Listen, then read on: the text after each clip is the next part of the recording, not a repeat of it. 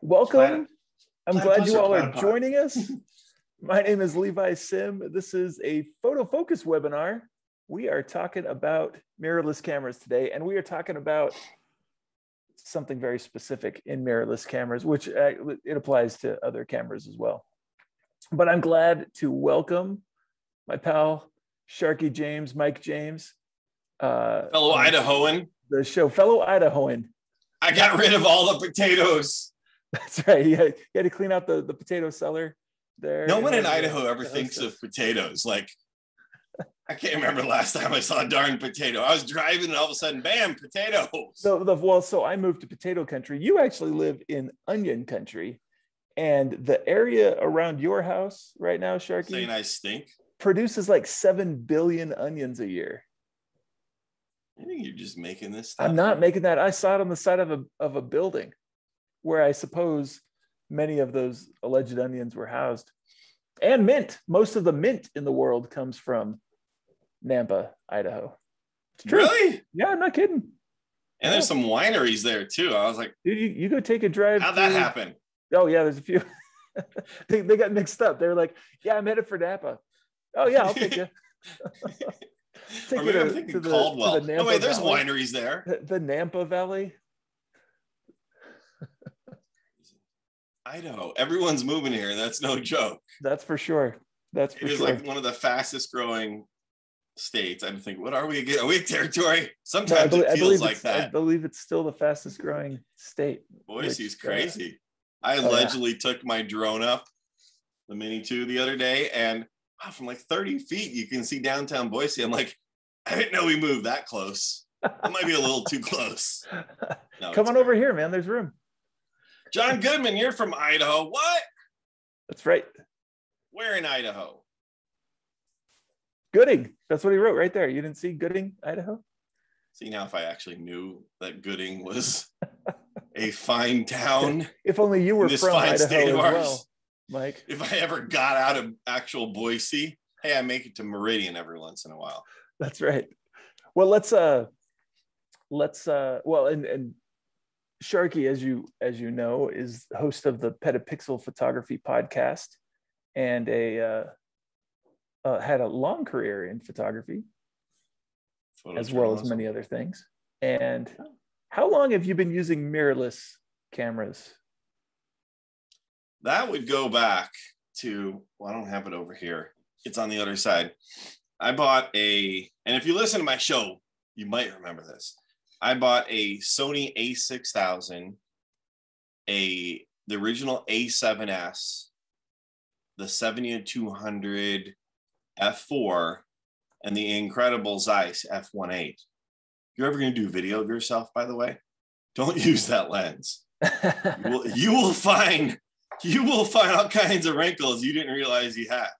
But I literally I got that, and the very next day after it arrived, I shot the Utah State football championship, you know, high school football, and uh, the A6000 impressed. I mean, I got this was so we've been here in Boise now for over five years, so this was like oh, six plus years or so ago Mhm. whatever it was. And people, other photojournalists were looking at me and snickering, and I'd see all the side eyes. And I'm like, I'm thinking, I'm like, they, they don't know it yet. Yeah. all going to be shooting mirrorless even a little bit in the next year or two. Mhm. And I kept in contact with a bunch of them, and they did. Yeah. You know, they end up getting the the gateway drug A6000 or 6100 or whatever at that point and then they and then they stepped up and things have come along i mean i remember back when i would listen to frederick van johnson on twip back when i was in arizona so we're talking seven eight years ago talking about these little mirrorless you know it was the pen cameras right the little right. The little the pen. Yeah. Olympus pens. And uh, and I was thinking back then, I'm like, that's you know, he's talking about all the benefits of those. I was like, this as this matures, that's what I want. You know, as a photojournalist, I was a problem solver. You got to be a problem solver. Something gets thrown at you, sometimes literally, That's right? right. That's right. Oh, hey, throw some good stuff at me. Potato and potato, whatever. And you know, these things that were coming down the pike, I, I wanted those things, and it, but it was going to take a while to get there. And we are, we're there. We're more than there. You know, when I first started the show a little over five years ago, people were like, "You're a Sony fanboy," and mirrorless is is just a fad. And I'm like, "You're you don't know. First of all, you don't have a podcast, buddy. Have a podcast. That's right. I mean, Put you can go place. create one right now, so that's not really so much of a big deal. But you don't know what you're talking about, and they all have mirrorless now. A bunch of people. I get emails and messages all the time. You used to talk about these mirrorless cameras, and I was hardcore with my you know D700, which you're gonna be hardcore with the DSLR. The D700 is the one. It's the one. you want. It's the one. one. Everything else Still the one. pointless. I just bought one. Well, maybe the D850. I don't know. It's- See, you're, you'll buy more Oh, like yeah, rabbits and you start multiplying and then uh, but we're, we're there we're there with the the mirrorless Absolutely. cameras and you know the evf's going to get better constantly we're going to get a better I, I, frame I don't rate have you're gonna complaints. I mean, i don't listen i've got an xt2 and an xt3 the Mhm. improvement was was noticeable especially in your when you're in good light of course you know the evfs really shine haha get it shine dad Got it. joke number one maybe they're just fine. They're just fine. Yeah. And they're going to get to the point where the people that can notice the difference in the refresh rate and the re- and the resolution might be a problem for them because it's not like they're you know looking through a lens bounced off a mirror a billion times into your eyeball. and I'm, I mean, like you're using you're using Fuji's. I'm using Lumixes, which have been making mirrorless cameras longer than Fuji's. Yeah. I got no complaints with the EVF. In fact, I love the thing Great. because I look in here and I see exactly what my picture looks like before I take the picture. See, that's what I love about mirrorless. It's and I keep amazing. telling Like people, any other consideration, any other consideration is Yeah. under the table, under the carpet. if you were to gone. design a camera right now and you had the options, you wouldn't make a DSLR, especially if you wanted to sell cameras. no, Well, that's Yeah. in. Being for a, a person who's new to photography, being able to put that to your eye or Mhm. look at the LCD on the back and see what the, your image is going to be like, and then go, Yeah. okay, what happens when I when I when I turn this thing, this this, is what happened. Yeah, That's cool. right. That's how it should be, and then from now on, that's how it's going to be. Absolutely, It's great. It's exciting. It's so easy to teach people how to use cameras. That's right. It really is. It's look, not hard look through anymore. the thingy and turn the knobby until it looks good. yeah. That's it. Did you just see light go out? I'm in the garage. I gotta fix that. I need like a, something that dances in front of this. I Oh. put those those uh Leviton, whatever Lutron system, Caseta system in there, and everything's like automated and stuff. you did you did one of those uh the the car sale guy, the airhead thingy that That's what I need. Giant green thing that's like That's used good. cars. Well, hey, uh, you know, Sharky, not not only are you and I in Idaho, but this has never happened. We've got two other people from so we've got John, Keith is from Idaho, uh, David's tuning in from Bismarck, ND, equally Idahoish, and somebody's tuning in from uh, California. Some guy named Frederick. FVJ. That's v- Himself. FVJ is in the house. Hi. FVJ. Are you gonna Um, bring him in? Should I should I add Frederick as a as a panelist? Yeah. Panelist status. Promote to panelist. Back Welcome to I the show, a- Frederick. A little sharky. listened I mean. I mean, how could I not? Because because anything I I do online, whether it's a webinar or a podcast or whatever, I still just remember myself walking to and from my studio every day as a new photographer, listening to the TWIP photography this week in photo, everything there. So how could I not welcome uh, All right, prepare, Frederick. one Frederick. of my mentors? Frederick really knows. Frederick's the reason I got into podcasting. I mean, That's I was right. given Oh, a, yeah, a nudge by Paul conversation. Giroux. He's, I tell him all the time. I'm like, I'm like, I said, Frederick, Frederick. I know Frederick a little bit. We don't keep in touch that much. We're both, you know, busy. He's way busier than I am. But We know each other Frederick. a lot. We've had We know some it. deep conversations, Sharky. We know each That's other right. a lot. I know the That's towel right. story. We're just gonna right. the towel story. Well, let's Don't not talk about that. Let's go. No. Frederick, Frederick and I have had some deep conversations. In fact, we talked about mental health, and I think the last time I was on on Twip, it's been a few years. Yeah, I can't believe it's I'm- been a few I'm years. You know, people still talk about that episode, you know? Yeah. So I, th- I think it's time to do another one. I think so. I get messages all the time from people, and they're like, "Bro, like," and if you follow me on Instagram, which Len Shark everywhere, I talk openly about mental health because you should. Yep. You, you, you bottle it up and you die. Don't do that.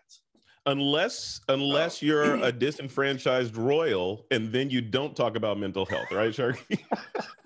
You already the election's over, so we don't have to go jumping into that mess. Oh man. So what does he do? He brings he goes way back.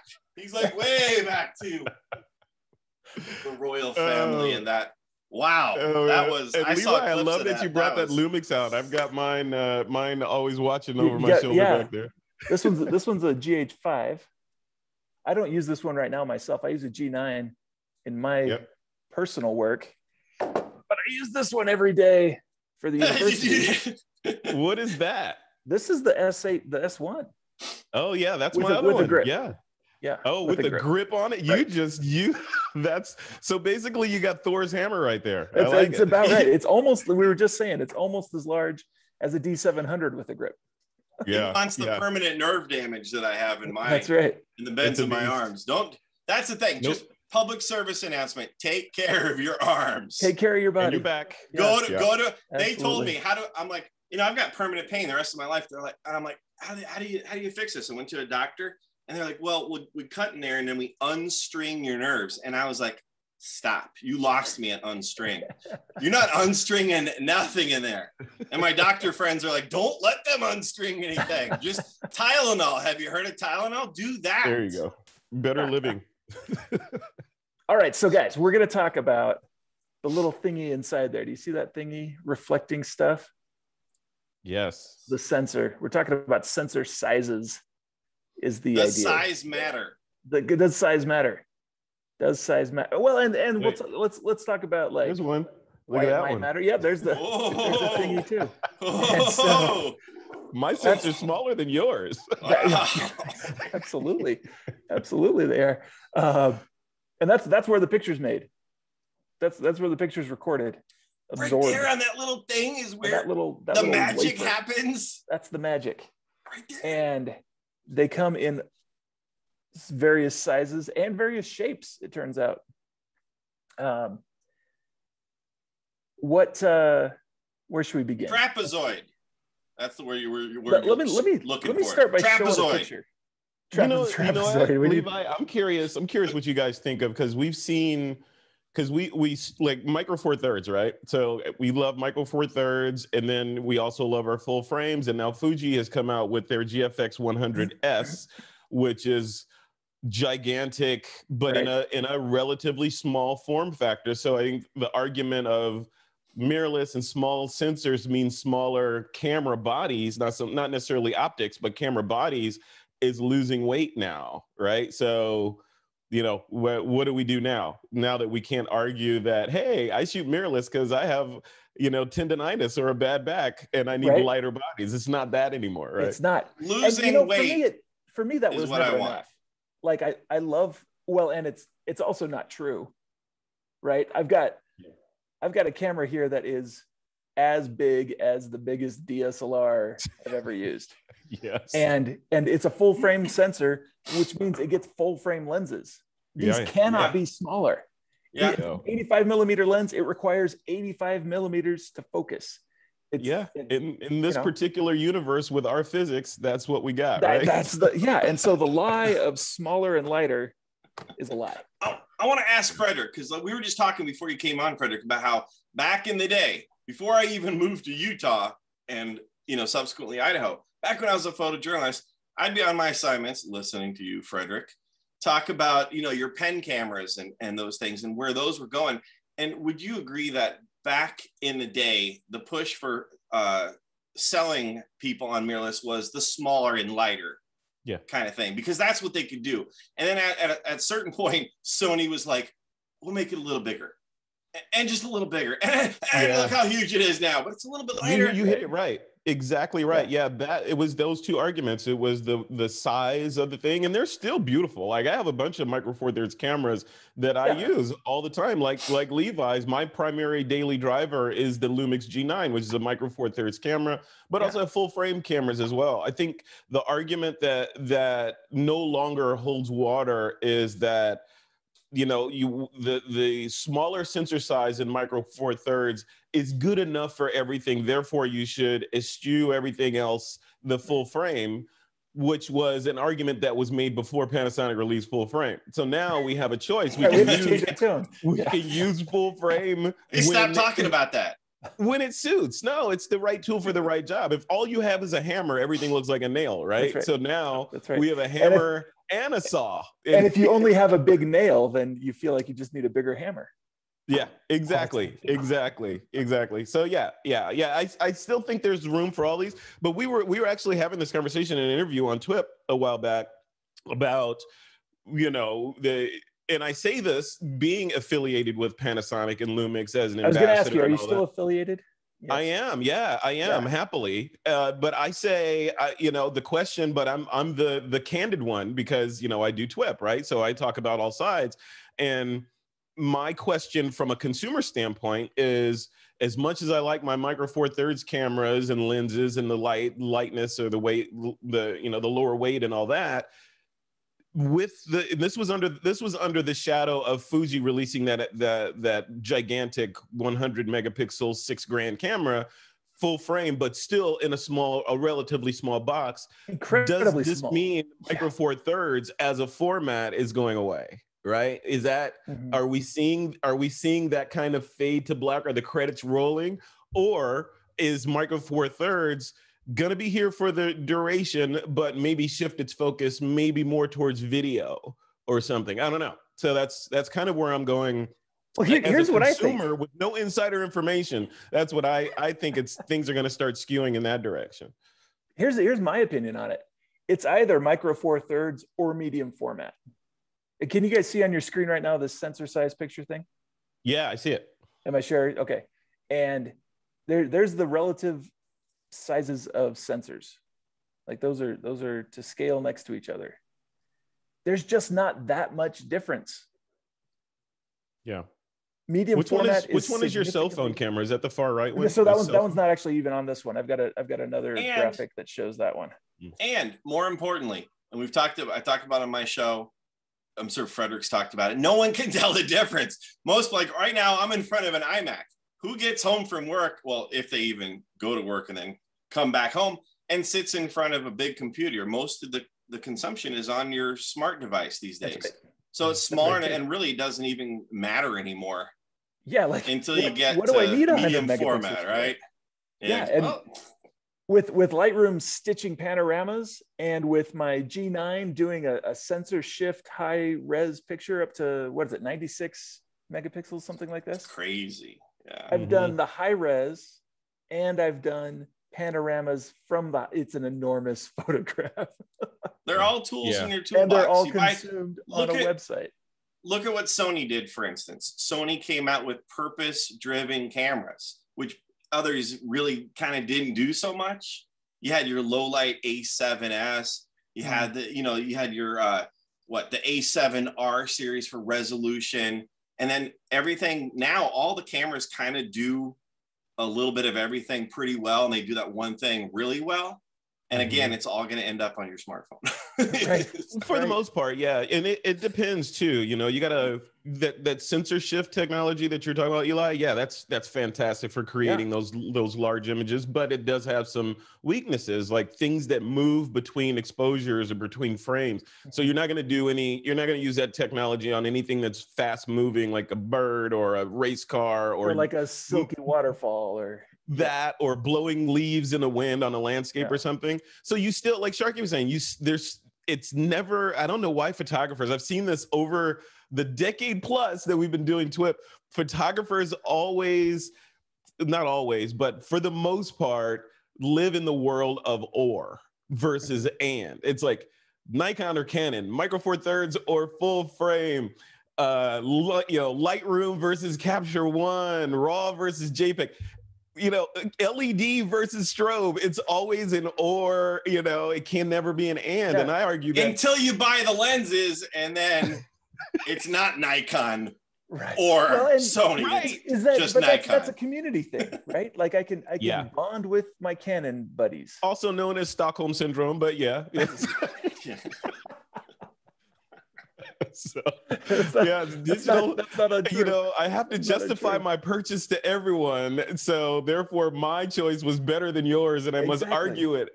well and they and they continue to grab us with that because because the only thing i can compare when i'm looking at a camera at the store is the numbers on the tag and this one Yeah. has more numbers with megapixels after it and this one has fewer so this one is is greater and But you know what, Levi, explore that a little bit because we Yeah. that's so it's so appropriate that you had that you brought that up because people, especially new people coming into photography, they don't know, right? A lot of people don't know what the difference is between the brands and this and sensor sizes and all this.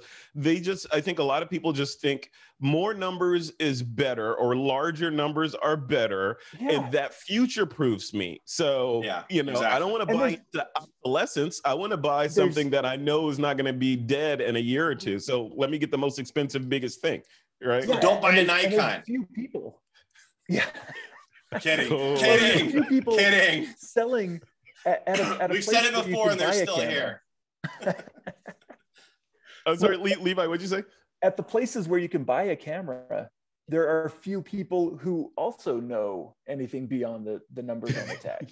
When Yeah, when they go right. train the guys at Best Buy, they teach them the numbers. Here's the comparative stuff. That's We're it. lucky we know Mark Morris. Exactly. Exactly. Uh, do do you have five hundred dollars or do you have three hundred dollars? Here's your choice. Yeah. And, Yeah. and this is Yeah. what you get. For That's it. it.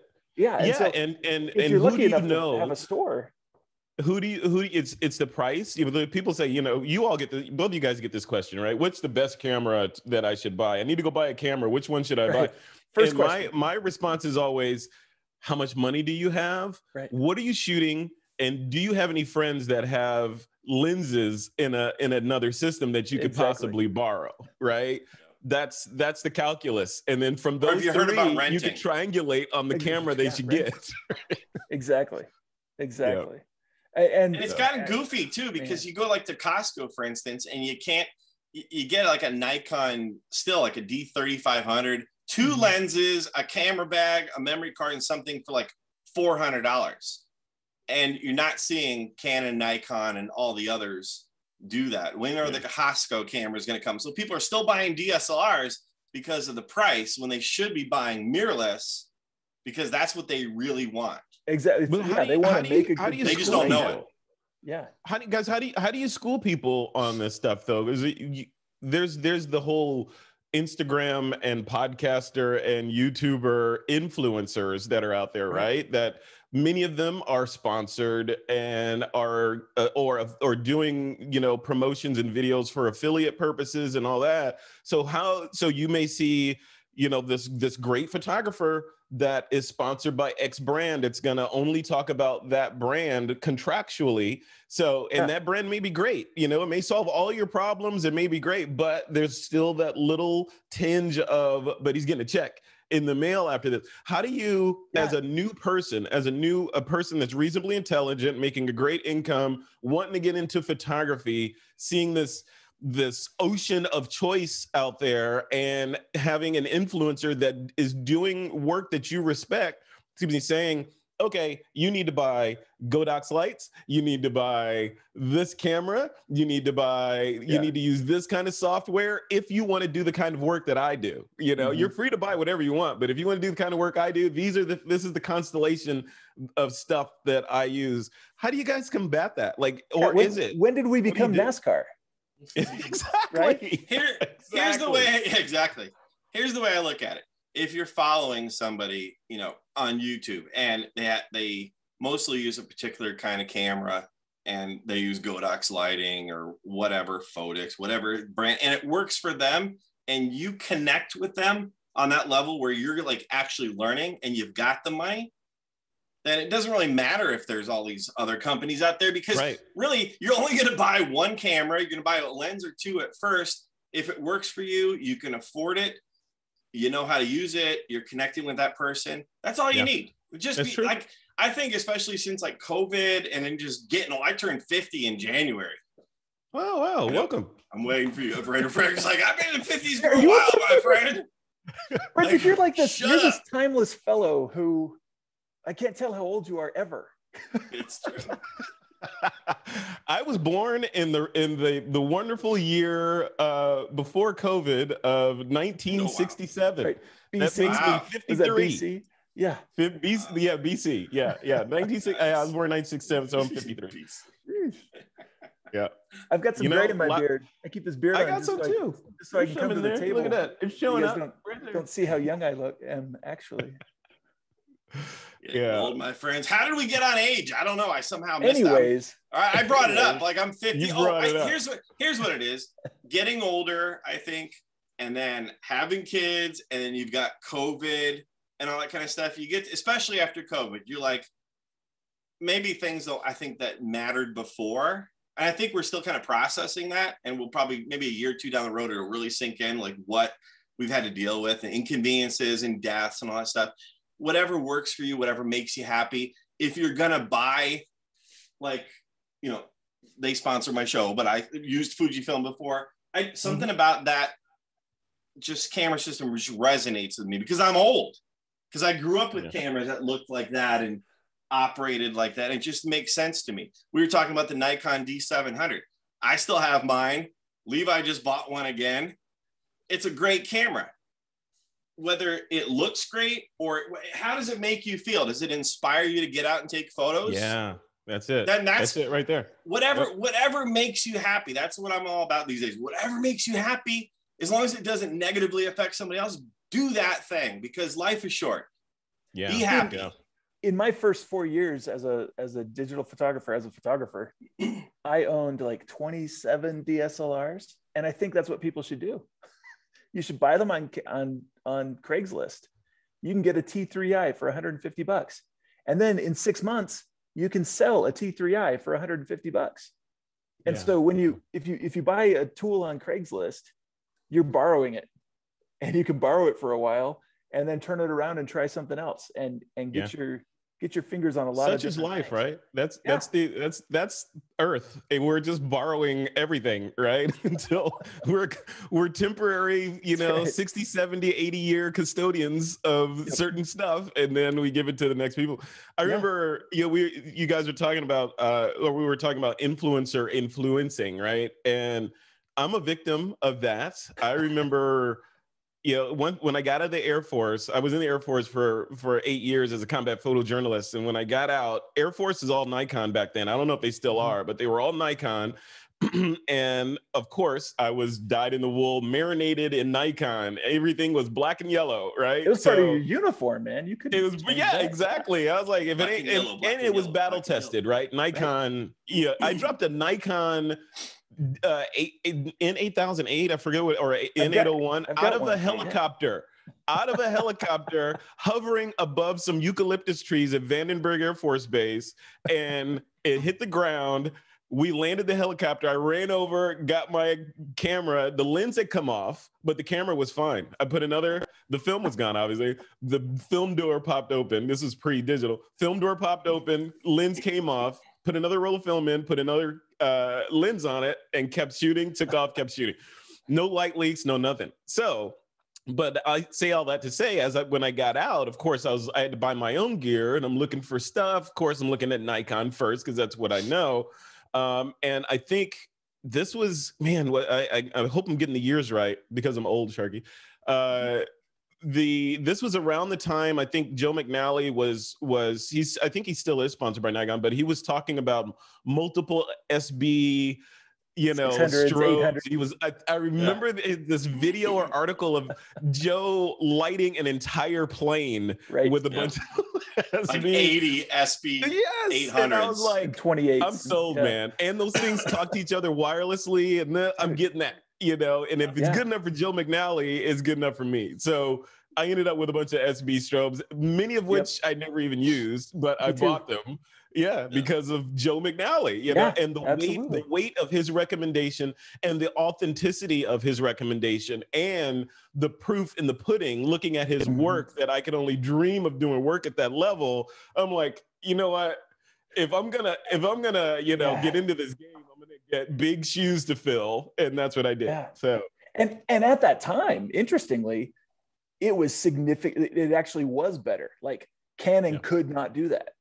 yeah, True. I mean, Yeah, that's, all right. it was. It was Canon and Nikon, and Canon flashes could not do that. Could not perform those functions at that Yeah. time. And uh, I mean, maybe that's where we we've we've just passed that time in the mirrorless side of things, where you know, unfortunately, Nikon didn't keep up, so they weren't the guy who could still do it. But you know, now Yeah. there's things that certain cameras can do that other cameras just cannot do. Um, Nikon's doing some cool stuff now, though. I mean, I'm that- excited to see that new that new Z9. And Yeah. and since since I'm an or I'm no longer an or kind of guy, Frederick, I'm just gonna I'm gonna tell my boss that the department needs, you know, one of each. You gotta, you gotta know, you know, you gotta know the other side, man. I'm telling you. That's right. All right, bring it bring us bring us back to, to sensors. Let's let's let's let's talk something on topic for a second. Sorry, you guys brought me on. You know, I'm a rat hole guy. You brought oh me no, on. I, I I love it. I'm I'm enjoying Frederick and me immensely. together, and it's rat hole upon rat hole. it's like it's not even a rat hole. It's like looking at the side of an anthill in the glass. That's right. you Have you ever seen a prairie dog town? It's like a, Yeah. It's like the sea monkeys. What are they doing? What are they doing? They are they talking about cameras yet? Exactly. I see a face. well so what what are some actual differences that you get with a sensor size like why would i actually consider getting a bigger or smaller sensor Light gathering. We need ability. buzzers. We need buzzers. I want to chime in. that's Ding, right ding, okay ding, hit, ding, hit it first sharky and then and then frederick Light gathering ability, generally, right? The bigger the sensor, the more you can soak up the light. Yeah, well and like if, for the same number of megapixels you've got bigger sucker uppers right Yeah. bigger photo Mhm. sites bigger pixels that are you know supposedly greater quality all else being equal Supposedly. So you're gonna make some compromises, right? yeah that's what You know, photography if, means if you in greek Yeah, it means if- compromise yeah, exactly. It means I can't afford anything else. I'm not going on vacation this year. So I need that new Z whatever. I can't afford the strobe, so I'm a available light photographer.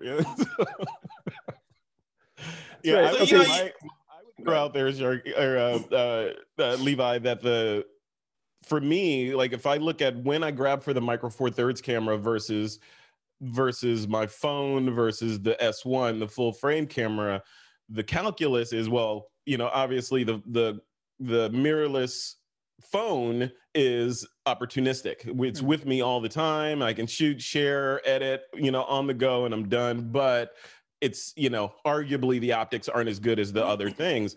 When I go for the full frame, I tend to look at that because of the heft and the weight of that. It's more of considered photography. So it's more of like, okay, if if I'm gonna schedule a shoot and it's models and I don't have another chance to get this shot and I need those I need those pixels or I feel like I want maybe I don't need them but I want the the pixel insurance Mhm. of having more to work with when I get into Lightroom or Capture One or something then I'm going to get the best that what I feel like is the best gear that I have. If I'm going, if we're taking a road trip on the weekend, we're going to Yosemite and I have no idea what's going on, but I know I want some better pictures than I feel like I could do with my iPhone. The G9's going 90% of the time. oh yeah It's the G9 all the Yeah. time. So it's all about that and, right? It's about, I don't have to make the choice of, I got to pour all my energy into this particular sensor size and make it work for everything that I could possibly do.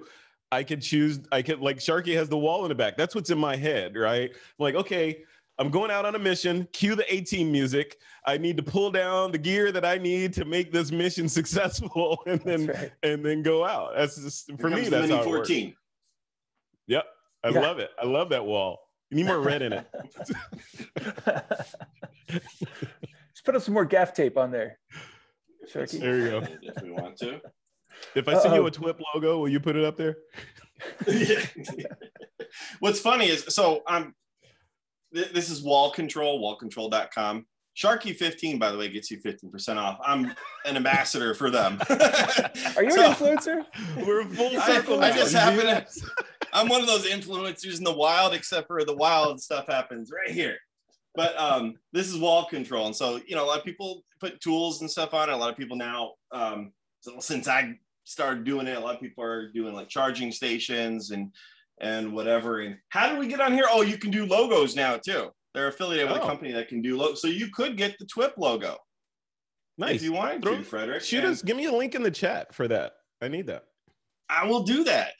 And it's it's reasonably priced. This is called Ghost White, so it's not um Back to sensor size, Sharky. anyways. Da-da-da. There See you what I mean? Done. See what I mean? and? I put some Rabbit red in there. Rabbit hole. There's some red. Some red. the Phottix M200R, another sponsor. Thank you. I've, I've got I've got one from Lume Cube, a similar one. Yeah. Yeah, they're awesome. Um. it- well, so I have this. I have this idea. Have you guys ever been on a cruise, like a cruise ship? No. Never, not even once. You know what they and are. now probably Especially never. now, not now either. Exactly. There was Legionnaire's disease, and maybe you might get dysentery. Now, the COVID and your president might keep you offshore a little longer to die. I just got a fear of pirates, man. I just don't, That's I don't right. know. That's right. Well, so I took a You're not cruise. going to. Somalia. When you well, okay. Do you have a kitchen in your house? Yeah. So in in America, I would say that the majority of kitchens have some windows nearby. We've got a kitchen above the sink, right, or a, a window above the sink, and and you look out this window and you can see the mountains, and you can see the trees and the birds come down and stuff. Um, but then if you take four steps to the left, you can look out the screen door, out the, the sliding glass door. You know, it's like six Yeah. feet wide. It's the exact same view. Yeah. But there is something better about the view through the bigger window. That's true. It's it's different, and Yep. you don't have to like crane around, which I which I compared to possibly using an ultra wide lens to get the same kind of thing. You know, I don't I mm-hmm. don't have to like look mm-hmm. out the sides of the window. I can sit there and I can use my 300 millimeter lens and get a 100 millimeter field of view with the compression of a of a 300 millimeter these, these kind of things. Yeah. And so I, I do feel like a bigger sensor sometime, like especially when you step up to medium format and when you step up to actual medium format, not digital. Yeah, medium that's- format, right. Yeah. It's still only barely bigger than than the the 24 by 36 full frame. we all- use. Are we all members of the RB67 club? I used to I- have one. You had one. I Yeah. See, one all of us. now. Yeah, I've got one right now. And the It's- It's one, another another one of those special cameras. right. Yeah. Right. Right. Yeah. Although I, I shot more with camera. my Pentax 6.7 Yeah. with the wood grip. Uh, yeah. Wow. It was it was a Yeah. SLR actually. So The Bronica. Remember the Bronica? yes, Oh, also yeah. a nice one. Mhm. Oh yeah, Um, we're old. and so I don't know. Back in There's, my day. Not Levi. there's some. Back in yeah. my day, we used film. Hey guys, I just turned 40. I'm like a little kid in this room, huh? I. Shut up. Yeah. We're gonna be gone. You're gonna you're gonna have to talk about us nicely for the next ten years right. after we die. Back when I was on TWIP with uh, Frederick Van Johnson. You remember uh, that guy? Yeah, I remember him. He's still hosting. He died five years ago. He's still He's hosting. still hosting it. That's right. Still hosting. hey man, Other, AI, other people says AI. other people say RIP. His says TWIP. I like that. I need to. I need to break out my will now and put some That's more right. words. no, what, what Frederick's uh, thing's gonna say, and now it's time to take that lens cap. Right. yeah, exactly. Or bury it with me. Off. Bury- Yeah. That's Actually, right. no. Sharkies will say next. Next. No, no. Sharky's tombstone will have sponsored by wallcontrol.com. Yeah. That's right. It'll be a little hooks- wall control you can do little panel. hulks all over it. exactly. Flowers Bumper on this stickers side. all over the tombstone. Roses down here. Like, look at all look at all that gaffer tape right there. It's just so it's handy. I like. Yeah. I'm one of those people, especially the older I get, Frederick. And we're gonna get back to the mirrorless stuff. If I can't see it, it doesn't exist. I'm like a little baby. You take something away from it, it's gone. Yeah. I have to see it. I find a stuff all the point. time. Gear. I know. Bad problem. You know that's a real thing in physics, right? Where you know you can't really prove things exist unless they're observed, right? That's so true. That's Right. true. Well, and so here's here's an i- here's an idea I want to talk about branching off of the the sensor size and the and idea. If I'm going to Yep. have a full frame and a, full, a medium format and a micro four thirds and my my phone, like the phone, the phone is easy. Like you spend a lot of money on this thing. Like this was not Yeah. cheap if you think Yeah. about it. I don't have to think about Even it. if No, you yeah, yeah, you know, you know, you spent a bunch of money on it, and you you did it fairly easily, knowing that because you know you're going to use those three cameras on the back, which Yeah. I I'm still not in that club, and uh, and you know it's going to be worth it to you, Yeah. and so you can you can do the same thing for your other cameras. what lens would you buy? Like, what is because I I rarely change. I've got like two lenses I use all the time. I don't need the entire fleet of lenses. Yeah. Yeah. Having- what having what are those lenses? What what are the two lenses? I'm curious that you that you Like on my G9, I can make a living with a with a 42.5. Oh, Nocticron? Yeah, I've got the Nocticron. I don't. I struggle. Would I buy the Nocticron again now that they've got the 1.7? There's a 40 42.5 1.7. It's it's hard Yeah. to say. My my friend Erin, she she makes her living using the the 1.7 and Oh, okay. has a thousand dollars more in her pocket. Is that Aaron from the direct deposit show? it's not. Oh, Not it's a that. different Oh Aaron. no, it Okay. is that Aaron. Oh yeah, no, yeah, that is yeah. Oh, it is that Aaron. Okay, cool. Our new show, our new our new photo focus shows. Yeah, Homestead, right? Aaron Homestead. Yeah, Yeah. I met her at Uh, WPPI. She's awesome. right. And Yeah. and so I, I can make a living with that one, and then add a seven to fourteen in there lenses. for some ultra wide action, and I'm I'm golden. And then I've got a I have bonus. just- I've got the 100 to 400, but you know, And what do you what do you what do you have on your S1? What's your on the what's your S1, main I've got go-to? the 85. I've got the Sigma 8514 on there, Mhm. which is really big. That's I'd rather have like a 135 on there. That's a heavy Yeah. lens. It's a heavy lens. That's Uh, a heavy That's lens. this one, right? This is the this is the is this the one it the- for? the same one. Yeah, it's a lot of glass. Yeah. Oh no, you got It's the a new one. Beast. This is Yeah, the, this is the new one. This is the older one. Yeah, That came out like new one. that came out a month after I bought this one. Levi, we're talking to Frederick Van Johnson. Of course, he's got the latest one. Right? He's the latest and greatest. The loner. Yeah. I have to send back in two weeks. So well, so so I use that one a ton on the S1, and then I also use I use the 70 to 200 a lot, um, Mhm. which is enormous. Yeah. Everyone should I- have a 70 to 200, even if it's an F4 version. On a full frame. Yep. It's such Yeah. a great. It's just But I use it a at great. 200 Like, all the time, so I'd rather have a a 200 plus. So does that You're gonna have a 200 F2. You guys, I don't know if this applies to all all genres of photography, but I know it applies in the wedding, the wedding world. The holy trinity of lenses, right? Was the 7200, the what was 24 it? to The 70. 24 to 70, 24 to 70, and Yeah. then the what was the other one? 24. Well, you could get the 12, but but more like a fast 50 would be like the the 51. Yeah. Oh yeah, you got to throw that the 50 50.8, fixed yeah. in there too. right. The And on fast, the Does that- Canon side, the 16 water? to 35. exactly. The 16 to 35 would be Right. That's there- the one I was thinking of. Yeah. For me, it never did. I bought this. I, I bought the 24 to 73 times, and I sold it every time because I never used it. It's just not. It's not how I view the world. Like when I Yeah. When I look through this 85 and keep one eye open, things are exactly the same. Like I could walk around Yeah. with this in front of my eye and not trip on stuff. It's the same view that I have of the world. Like things are the same size. It's and Yeah. like they call the the 50 a normal lens, right?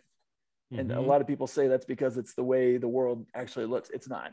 It's the lens that normally shipped with cameras. that's that's the fact. Like that's the lens they shipped with cameras since 1946. And so, yeah, it's uh at some point on this show, you guys have to do a uh, maybe a discussion. Hopefully, you don't have to, but I would love it if you did a discussion on lenses, OEM lenses versus third-party hmm, lenses, like Sigma Yeah. and Tamron versus your OEM.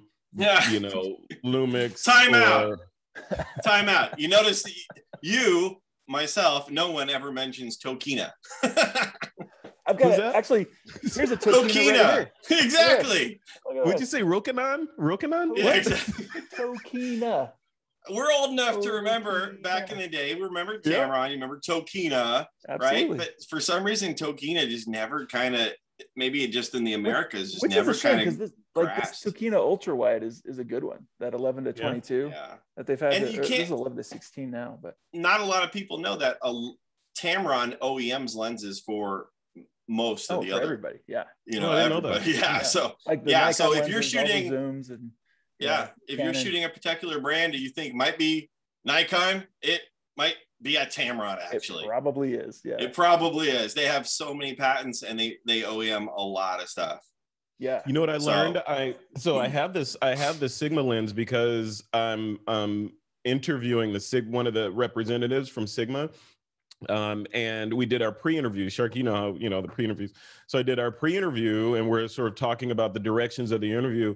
And I'm arguably, I I am an uh, I, I think I'm the perfect person, one of the perfect people to do this interview because I've never owned a third party lens. I've never purchased one. It's oh, wow. always been, it goes back to that Stockholm syndrome of if it ain't, you know, I, if I'm going to yeah. spend this money, much money on something, I'm going to get something that was made for this other thing that I spent this much money on. And I'm going to, you know, I don't want to have to worry about, you know, it's better on this or worse on that. I just want, just give me the same thing with the same logo on it.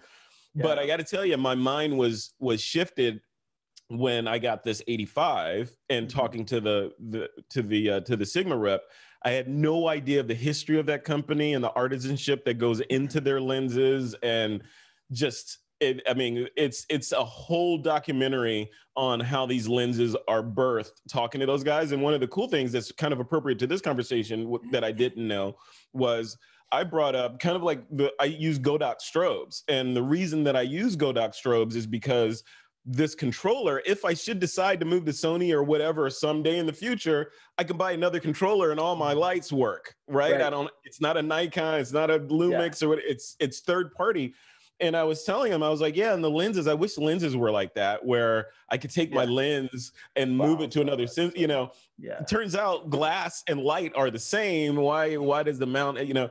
And he was like, well, they do have a program. Sigma has a program where you can send mm-hmm. your lenses in and have them change the damn mount for you. I had no yeah. idea that, that How did you not know that? Yeah. I don't know because I don't know any of those lenses. yeah. Well, that oh, might oh, be it. You know, one other I use all the time right now is uh, Frederick that you might like from Sigma is the the 45 to 8. Mm. I wish it was a little brighter, but it's it's a it's an L mount lens and it is amazingly sharp. I just did a panorama in the basketball stadium here and like from across the room I can like it's a huge room, you know, it's a it's a college stadium, it's quite large from all the way across the stadium. When I zoom in, I can read Mountain Dew on the side of the can inside the refrigerator, like the clear front refrigerator from all the way across, like the, the vending That's machine. Crazy. It's it's a you remarkably great that thing. That's yeah. crazy. And so, well, I so wish John, I had these things. And I know Frederick will back me up to this when he was a photojournalist, serving our country versus me serving myself for a paycheck, right? Just nods to you. I'll never. Somebody's got to pay the taxes. different, different routes to the same goal, right? That's different true. routes. different routes to the same destroyed knees, back, neck, and all that kind of stuff, right? But yeah. um, I don't even remember where I was going now. Where was what were we talking about? You were saying something about how amazing I am and how privileged you feel to yeah. be in the same Zoom with me, True. something like that. True. It was, uh, it's always that, Frederick. It's always that. I don't remember what I was saying. Oh, I know what I was saying the stuff we have now available to us if i had that in my i left my photojournalism career in august of 2013 which now granted was a lot almost eight years ago. That's crazy. If i had this kind of technology then my photos would be so much better. No but my job would have been more enjoyable i think. You have more tools available now. There's yeah. more things you can do with less perhaps. Yeah. You know even and just, you would have made better pictures faster probably have gotten better faster. But just being able, like, I would, I would shoot uh, the average uh, high school gym with, well, yeah, about the average. I'd shoot ISO 6400 on my D700, and I'd be using my 7200. And I, you can't do this everywhere, but I convinced the refs to allow me to use flash so long as I pointed it upward at the ceiling, which granted was way up there and not going to really be that useful. But I had the Gary Fong light sphere. Oh. which is good for you know, c- convincing the, the Fong Dong, yes, the, those people, convincing the Fong people Dong, that you're a pro, convincing people, no, no, convincing people that my uh, flash is my SB 900 is still pointed at the ceiling, and oh, therefore yeah. that's okay. I would get just enough front fill as they were driving towards the hoop to make a better photograph than just shooting ISO 6400. Now you can shoot 12,800, 25,600. You're, you're just swimming in ISO. Yeah. All day long. It, it's crazy. It's magic to me. Doing. It's That's amazing. Like, And That's it's that Arthur C. time. Clarke, you know, indistinguishable from magic stuff. You know, from a True. from a dyed in the wool film shooter. We were just, you know, we had refrigerators full of film in the military. We are like, oh, look at all this Kodak and Fuji film. Uh, to, and we had to pick the right one for whatever the thing we were trying to shoot, right? So, Yeah. oh, it's nighttime, or it may transition from day to night. So I need 100, and I might want some 3200, depending, because I can't not come back with the image. That's the mission. And you were back rolling yeah, and then ro- Yeah. loading that again when you needed to shoot night, right? Exactly. Yeah, exactly. But now, you know, it's, it's now that you can roll your ISO or put auto ISO, that's just like magic to people that were shooting shooting film. And to your point, Sharky, I was, you know, when if you go back in time to back in the film days when we were the feedback loop, I call it, of shooting a photo when you're learning photography, of shooting a photo and then figuring out what you did right or wrong on that photo could be days, maybe Right. sometimes longer. And now that's seconds, you know, because you shoot it. Oh crap, I'm out of focus. Oh crap, I did this. Oh crap, you Mhm. know, you can fix that and you learn to be a competent photographer much quicker with the assist of AI and and amazing focus and all these other things. We were manually focusing on film back then and all that stuff is no longer necessary. So I think the result of it is we have a lot that's why photography is a, such a fast growing hobby. We've got a we've got many more usable pictures. If you mm-hmm. got Levi, you may not be old enough to remember this, but there used to be this concept of the picture drawer in, in the kitchen where you Yeah. open the Oh, drawer, yeah. and there's just a bunch of pictures, a bunch of undeveloped film and pictures There's like in 12 there. pictures from my childhood. Yeah. Yeah, You know? exactly. Yeah, I, you got 12 more than I do. When you look at that drawer, it's like, oh, here's a roll of film. Let's develop it. Oh, look, three of them came out. Right? It came out was a phrase. You know, it Yeah. means something different today, but back then it meant, you know, the photos. The photos came out great. You know, I got some usable ones on there. Now that's all. It doesn't matter because every almost every photo you take you know is a, is pretty much a keeper now it's down to Mhm. composition and story and the stuff that really matters versus Yeah. the technical stuff getting in the way so There's no excuse for closed eyes. Yeah exactly well you know there's some software that can fix that for you That's now That's right. Easily fix it too. like not even a problem. All right, guys, wrap wrap it up for me here. What uh, what is is one thing you would impart about sensor size? Sharky, what do you got? I'd say these days it mostly doesn't matter unless you're doing something specific that needs a larger sensor. Like you and I talked yesterday. You're looking at a photo on your phone or maybe your laptop. You really don't see the difference. When you get to medium format, you really, people still don't know, but they know that something's different, you know? Right. But so just get the camera that makes you happy. And uh, if it's a Fujifilm, of course. you had to All say right, that. Frederick, You don't want to get sued. No, buy the camera that just make that resonates with you. That you know, do your research. Maybe don't buy into a company that might not be around in a few years. Yeah. Don't know who that would be. I'm just saying. You know, and because well, why? just why do that? And these days, buy a mirrorless. Why would you buy a DSLR? And Yeah. you know, if you want to, I, I still have my Nikon D850, and I need to sell it. You know, it's just sitting around c- collecting dust. It's a great camera. It's the probably the best Nike, probably one of probably the best DSLR ever made. yeah Probably. And uh, I, you know, I don't use it. And it's not because Fujifilm sponsors my show. It's because I just when I'm grabbing for a camera, I'm thinking making images. I'm thinking that. I'm not thinking DSLR because that has all the benefits. You know? And so why buy into an old system? And dslr sales are down mirrorless sales are up. That's not changing anytime soon. Yeah. why would you buy a dslr these days? I mean you can that's fine. Some people go against the grain like that. Because they're available on Craigslist right now. That's why. Yeah. Ex- well, and there's going to be more that's of them good soon. Yeah. there's a lot of them out there and, and lenses as well.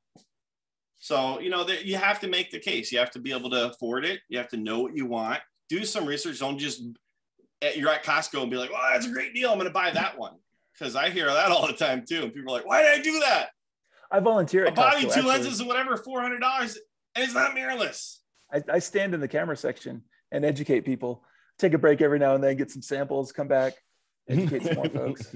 nice, nice. Do that. Um, can I can I get my thoughts? I would yes, please. I would say, and this may be heresy, but I would say the don't don't think about sensor size. Um, I would I would caution people to not get caught in that little eddy of sensor sizes and brands and you know all that stuff. And the analogy I use, I use for people is the if you go into a five star restaurant, you know, in some major city, and you have a great meal, the only people that care about the knives and the kitchen utensils and the stoves and all that stuff that it, that went into making that meal are other chefs. They don't, uh, they're the only people that care because they want to try to make that meal too. They're like, this was a fantastic whatever. I want to try to make this. How did he make this? So they care about dissecting how it was made. So that goes into their enjoyment of that meal. Same with photography.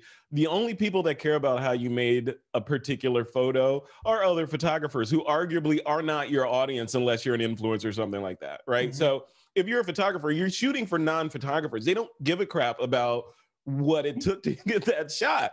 So stop obsessing about the stuff and instead concentrate on your your vision and the story of the thing that you're trying to communicate. We're in 2021 and we can, you know, tell all kinds of stories and get them out to gazillions, untold numbers of people in minutes, right? So figure out what your story is, whether it's you want to do some photojournalistic or political expose on something, or you want to skew more fantasy, or you want to build your own cinematic universe and shoot, you know, fictional dioramas inside of that. So figure out what that is and go create it, right? And then if you hit a wall where, man, I if if I could animate this piece better if I had a camera that could shoot at this resolution, then consider going to get a camera that could shoot that resolution and fix that. You're not people think they should be Batman. Sorry, Shark. You Shark. I'm looking at your background. There. People people think they should be Batman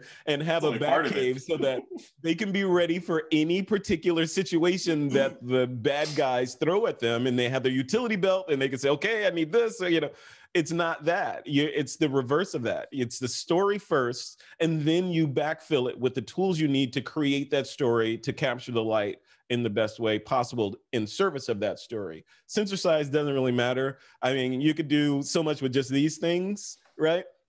So if this is all you have, shoot with this until you hit a wall and you need to upgrade, then upgrade. So that would be my my advice. Hit and always wall. always Hit wall. and, not or. Always and. Yeah. Always and am. Frederick, if, and Frederick, when a new body comes out, the next iteration yours, what are you thinking? I know what I'm thinking. What are you thinking? Um, wh- you Like- like, if they come out like a new version of the S. There's a bunch of iterations Yeah, of this one already. What's the what's the, what's the push for like? Do I really want to drop another grand or two, or whatever the the delta, as you say? Love that. yeah, Picked I up do say that a The lot. delta, between yes, you The do. deltas. What Yes, are the you do. I sound like a big Frederick Van Johnson fan. I right love now. and. I am. Too. I love I that. am immortal now. I will live on in. Sharky.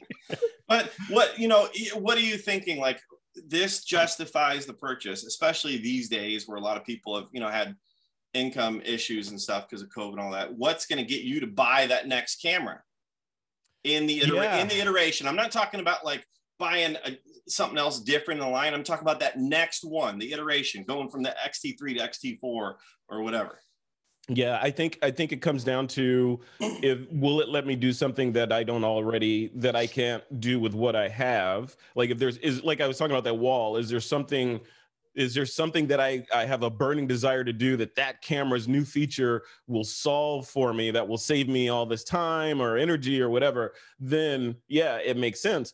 But in the end, you know, depending on your perspective, the Earth is what 4.3 billion years old, and light has not changed much hitting the planet, right? Light, the speed of light and the physics and the, all that stuff about light has not changed in all that time. The tools have changed, they've gotten better, but the physics of light haven't changed. So, as far as I'm concerned, even my cheapest camera, even my film cameras, there are people that have done work with you know cameras that that my current crop of cameras look like extreme science fiction to right they've done work with those pedestrian cameras that i could never even hope to approach doing right? Ansel Adams and you know all these Cartier-Bresson, all these people that are just doing all this crazy work with next to nothing, and we have supercomputers that can almost take the photo for us and we're still complaining and looking for more features on top of that and not you know those guys were like image hunters right they're going out looking for the image and if it's this particular image i need this weapon to capture that image right so that's what i would want to get back to um I have gear lust and gear acquisition syndrome like the best of them. Like, you know, Insta360 just came out with their new thing yesterday. So I'm lusting after that. Do I need it? The calculus was I have an old Insta360 camera, old, that I barely shot two two 360s with in a year. Do I really want the other one now, even though the video looks amazing? So the new one's no. so sweet. I want to be way. Iron Man with a camera on my chest, you know, I'm just saying. That's right. So I don't know. I don't know if that answers your question, Sharky, but I, I think I, you know, for me, and I'm not trying to sound holier than thou or anything, but like my the cameras that I have, like the manuals, I can open up the camera for this S1 or even the G9. I can open up the manual and see stuff in there like, oh, wow, I didn't know this camera could do that. Let yeah. me play around with that feature for a while, right? But instead of buying another camera that does even more amazing stuff that I'll never get to. So I don't know. Yeah. So you answered it. That's basically what I think. Like, is is there something in there that's going to help me do something I can't do now, yeah. or can't do easily, or you know, like I said, we're getting old. You know, just may I just want to be happy. You know, yeah. You're I just want to have fun. I got the fountain of youth. You are getting old, my friend. you're, you're not. Not untrue. Not untrue. Well, fellas, I sure appreciate you joining me. Uh, I'm, I'm really excited to to have had some time with you and. Uh, and I'm, I'm grateful for everybody else who joined us too. We have a webinar just about every week on photofocus.com. So head over to photofocus.com and get on the schedule there and find something to, to interest you and, and help you in your photographic journey. Frederick, where can we find you? You can find me in, well, actually, thisweekinphoto.com. All roads lead to thisweekinphoto.com. That's my podcast, it's the blog, that's our community, all that kind of, all those kind of things. But I am also doing a brand new show on the Photofocus Network called, wait for it, Sharky. You may, you may uh, understand this name. It's called The Pixel Punisher. oh, yes. nice. Yeah, yeah. You talked about punish, punishing pixels. That's right. Punishing darn pixels. near. Yes. Excellent. Yes, and now it's coming to fruition in a Photofocus show. We're going to talk about all things pixel punishing, so post processing, editing, special effects, light painting, all that kind of cool stuff. It'll be fun. You're swimming out of network now. You're like, hey, those photo focus guys are kind of. Hey, thanks, Frederick. We're nice. excited for that. Cool. Uh, Sharky, where can we catch cool up with you? Just go to lensshark.com. Don't forget the two S's in the two middle S's. there. Yeah. I'm not Len Shark. I'm not responsible for what that guy says or does. Lensshark.com. Excellent. You'll find everything there. Well, thank you both so much. Uh, my name is Levi Sim, and I can't wait to see you next time. Bye.